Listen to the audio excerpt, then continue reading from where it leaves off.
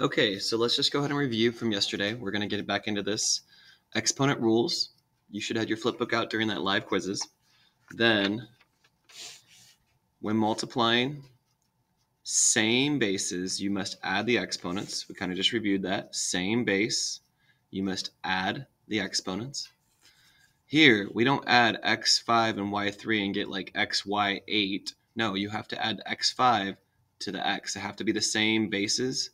So x5 and 2 is 7, y3, y4 is y7. Same thing as here, 2, 5, 2, 2 is 2, 7, 2, 3, 4, 3, 5 is 3, 9. Okay? Then this part we reviewed. In some classes, I actually didn't go all the way to the very end, the last part of this, which is kind of the confusing part. Um, this part, think about a battle. The eight's on top, the two's on bottom, so the top wins by six. I said, think battle. They're battling. You're subtracting. Two minus eight is six, okay? Here, two minus five is three. One, there's an invisible one here. Three minus one is two. But what happens when it's in reverse? So when the bottom has the bigger number, that means the bottom must have the answer. All right. The top had the bigger number here. So when you subtracted, the top had the answer. Here, 4, 6 minus 4 is 2, but the 2 to the second power stays on the bottom. Same with here. x to the fifth and x9 on the bottom, 1 over x to the fourth. The 5 comes down and subtracts the 9. All right. A little confusing, but you guys got this. Use your flip book when these problems come up. All right, the last part of your flip book. Let's go ahead and go. Um, we're going to go zero exponent. I'm going to abbreviate and parentheses. We're going to put that rule too. All right, so write down those two. The zero exponent rule and the 5 squared when there's parentheses involved. This rule is super easy. These Both these rules are actually the easiest. The hardest rule we've gone over so far is the one right here where it's a battle and you have to understand who wins the battle. Okay? So let's go to the final page here and we're not going to need to put anything on the top. We're just going to keep it here on the bottom. Let's see if I can go up a little bit here more. There we go. Now the zero rule, the zero exponent rule. All right. If I have 5 to the zero power. Okay? I want you to think, and I'm going to draw a little, maybe slightly inappropriate, but it's a little cherry bomb. And I want you to think, I've used this example before. A little cherry bomb, and it blows up everything. All right? So I'm going to write a little note here on the side, too. Where's my good pen? All right, here we go. It's uh, that pen's trash. Here we go. The zero exponent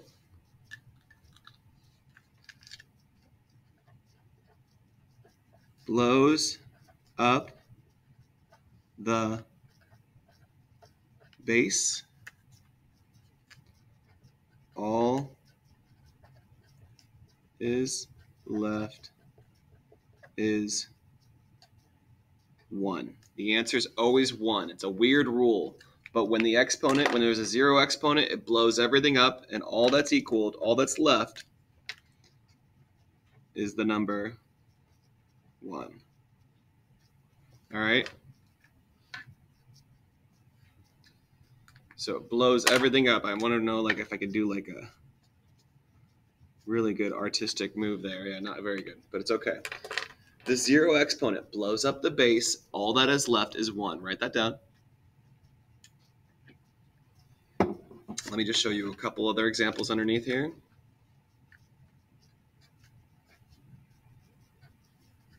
Super simple. x to the 0 equals 1.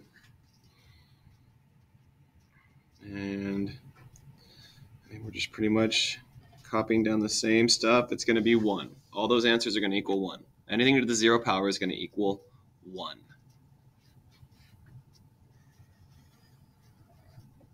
Okay? Blows everything up, and all that is left is the number 1. Now, underneath here, let's do the last rule, which is this going to be this parenthesis rule. And this one's actually pretty simple too. So if I have 3 to the second power and a 4, there's a couple ways you could write this. You could write this out. So what this means is, and I want you to understand, whenever you see an exponent outside of parenthesis, that means that you're going to write this parenthesis this many times. So 3 squared to the fourth power would be 3 squared, 3 squared, 3 squared, 3 squared, right? 3 squared to the fourth power will be all of those parentheses. And I'll write the parentheses out again too. Let's see if I can get this pen to work. So basically, like these parentheses would be written out. How many times? Four parentheses of 3 squared. Anytime you see parentheses with an exponent, that just means this parenthesis needs to be written out four times. But what if this said 40? Are you literally going to write this out 40 times? What's another way to do repeated addition. So hold on. First of all, from the rule yesterday, what's the answer here? 3 squared, 3 squared, 3 squared, 3 squared. That's going to be, you're going to add these, right? Isn't that the rule? So that's going to be 3 to the 2, 4, 6, 8. And that would be your answer. But again, what's the same thing as repeated addition? The same thing, repeated addition. Can't we just multiply? Can't we just multiply the exponents? So that's the rule when you have the parentheses like this, just multiply exponents. And you need to know by now what's the difference between a base and an exponent. All right? Base is the big number, exponent's a small one. Okay? So just multiply the exponents. You keep the base, 3, just like this answer was 3 to the 8th, right? And then just multiply the exponents. 3 to the 8th. Okay?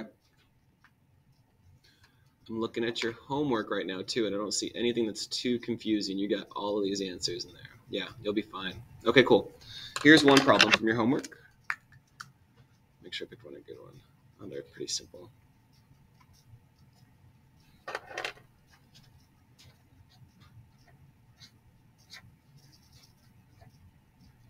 All right, there's a practice one. What if I did this one?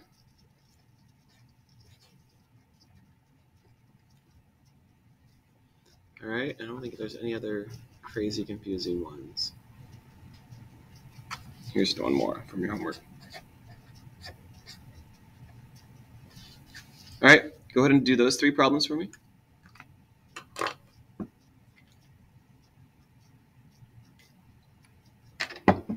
All right. So this would be pretty simple, right? All right, this would be all right, and then this would be all you're doing is multiplying 3 times 10, 4 times 5, 9 times 3. Okay. And that is your flip book. This is what you're going to use on your quiz on Thursday. I kept saying Friday yesterday, but we don't have school Friday. So quiz on Thursday. All right, so now that you have your flip book, put it to the side, and I want you in A-B partners. I want you in A-B partners, and I want a whiteboard in front of you. We're going to do a little bit of whiteboard review. So A, I want you writing first, okay? A is going to write. A writes, I know I used to write this on the board. B talks, okay? And we'll switch it off. We'll keep switching it back and forth, all right? First problem, A, and you can pause it if you need to get your supplies together, all right? A, first problem, let's go ahead and have your B is going to talk it out. All right. B, talk it out. Go for it. Push pause. All right, let's make sure you understand this. When we're handling this, we're going to go ahead and go and we're going to subtract. We're going to battle. These are going to battle. So it's going to be 3 is going to be part of your answer, of course. And the reason I put 3 instead of 1 over 3 because I see that the top one, okay? Which one won, the top or the bottom? So it's going to be 3 to the 4th, okay? That's an easy one to warm up to.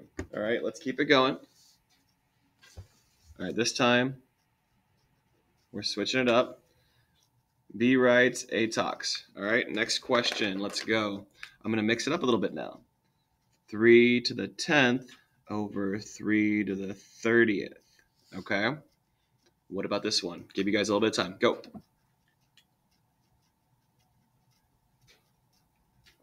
All right, for this one, who wins the battle? Who has the bigger number? The bottom or the top? The bottom has the bigger number, and you take 10 away from that. Take 10 away from that. So you're going to have 1 over 3 to the 20th. The 1 has to be there, okay? You may just think 3 to the 20th is fine. That's your answer, but the 1 has to hold it all together. Okay? Let's keep it going. Switch roles, switch roles. Let's go, let's go. So now it's back to A and B. Let me take one from your Blooket. You're going to do a Blooket in a little bit here. Oh, some of these are just too easy for you guys. You're going to have no problems. Okay, here we go. What about something like this? All right, go for it, guys. All right, when you handle this, make sure you understand that there is a, an invisible one there. So who wins the battle? The top? By how much? By seven. Right? All right, let's go. Let's go. Switch roles again. So now B is writing. A is talking. We're switching it up. All right, I'm going to give you a little bit of a curveball. Actually, no, let's start you off with a little simpler one. If I did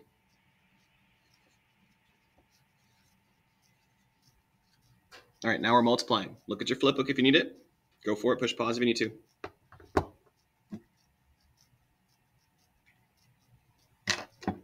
All right, looking at this one, there's an invisible one there, right? And you're just adding across. 4 and 1's 5 plus 5, 8 to the 10th. Okay. Very cool. Now, on your Blooket, there is a little bit of a curveball in this kind of problem. It's super simple, though. We haven't talked about negatives yet at all, but this one I'm going to give you a little negative.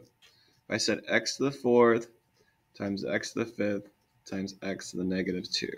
All right? Look at your flip book. Do the same rule you would normally do. All right? Try to get this one out for you guys. Try this one out.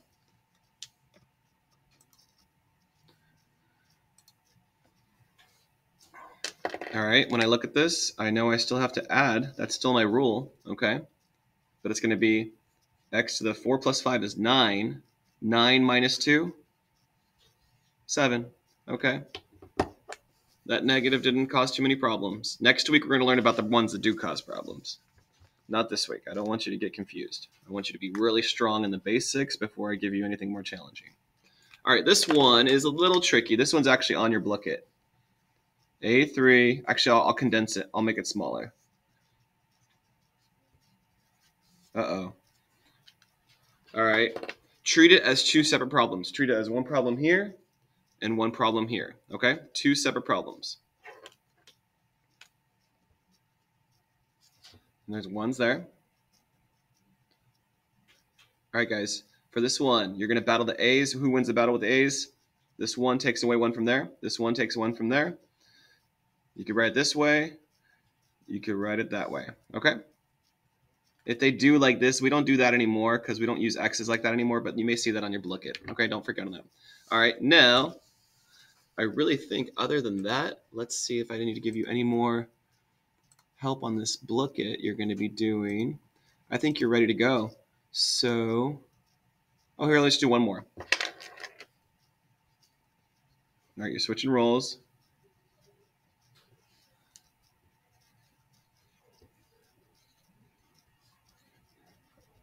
Okay. There we go. Then we're going to go ahead and deal with this one. Sorry, give you guys some time. Push pause. Go for it. You're going to deal with this part first, right? 5 to the 14th. And this part here, 6 to the 6th. Remember, you can only deal with the same bases. Remember? Same bases. Okay? Very cool. Good job, you guys. All right, the Blooket's going to be ready. Then you're going to have some homework tonight. I'll see you guys tomorrow.